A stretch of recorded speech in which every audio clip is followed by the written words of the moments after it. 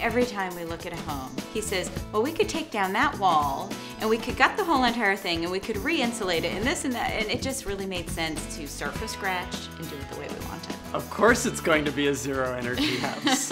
I've done energy efficiency for many, many years. In fact, I started doing energy efficiency in high school. One of the things I've done professionally is actually help write the national definitions for zero energy buildings. So we have a lot of different reasons why people do sustainability.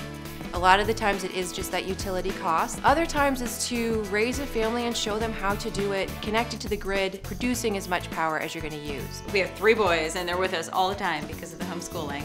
And the benefits of that are they, they see these decision-making processes. Paul and Julia designed the house so that this would be passive heated. The fundamental concept of you know, a big unconditioned sunroom that can passively heat the house. So on a day like today, we're gonna see in the course of the day, the house temperature is gonna go up five degrees or so, just because of the windows. I'm roasting right now. It's toasty. What is it outside? Less than 10 degrees.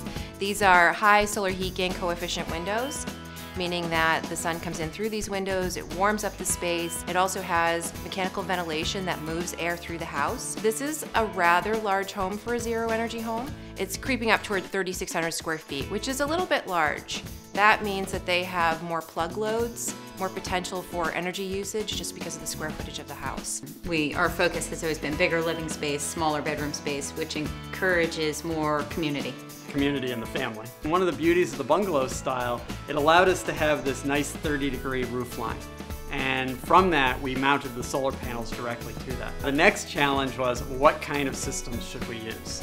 Probably the most unique energy saving feature of this home is that they use an air to water heat pump to warm the floors. I think it's a really innovative product in order to be able to use radiant floors and have a heat pump system tied to it. Right now in an all-electric home, there are no combustion appliances here. So your biggest liability environmentally is how you cool a house. If you're gonna have active cooling, you have to use a refrigerant, typically. In this case, they don't use any hydrofluorocarbons. Instead, they use carbon dioxide, which is uh, much better for the environment. It's naturally occurring.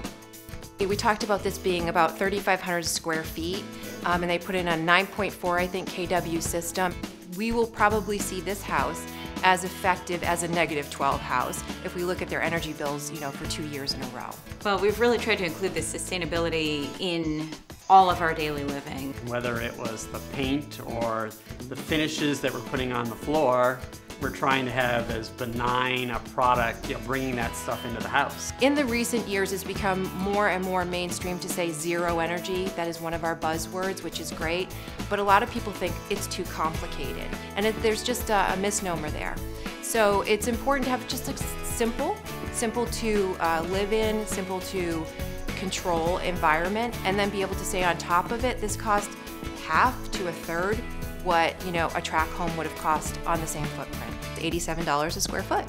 Nice and low, especially in Connecticut. Building a house is just lots of little decisions. And, and yes, sometimes it's overwhelming all those decisions, but you kind of have to think, you know, how does it impact, you know, future generations when you do?